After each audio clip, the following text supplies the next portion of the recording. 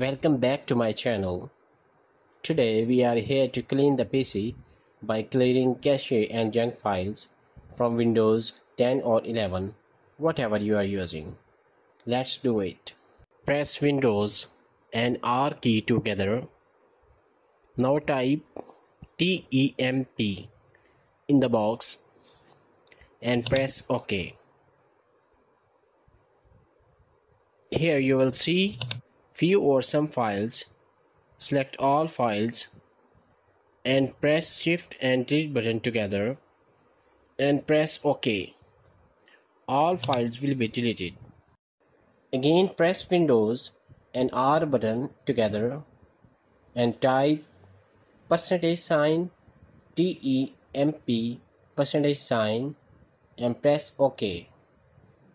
Here you will see the files. Select all files and press shift and delete button together. Click OK. The selected files will be deleted.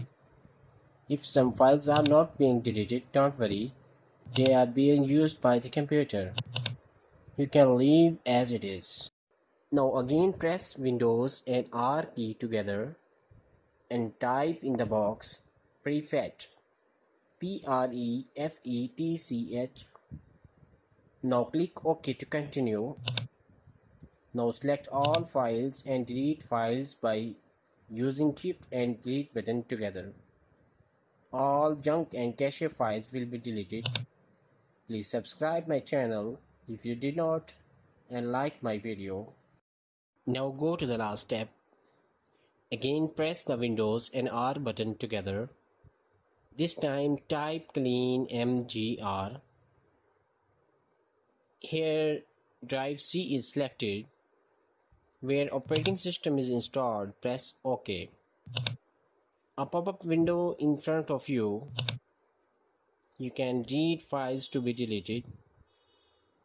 Check all the boxes and click down OK.